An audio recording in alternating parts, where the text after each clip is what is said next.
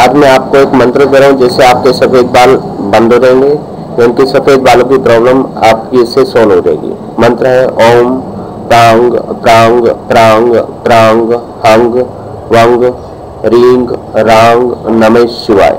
इस मंत्र के साथ साथ आपने थोड़े थोड़े आलू का और काले चने का गरीबों को दान करना है।